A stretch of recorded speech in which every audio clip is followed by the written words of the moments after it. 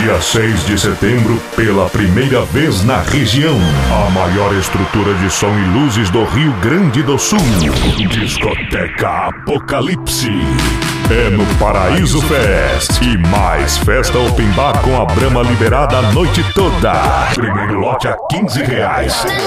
E mulheres que vierem pra festa ganham ingresso pra dia 15 de setembro com Som Destroyer.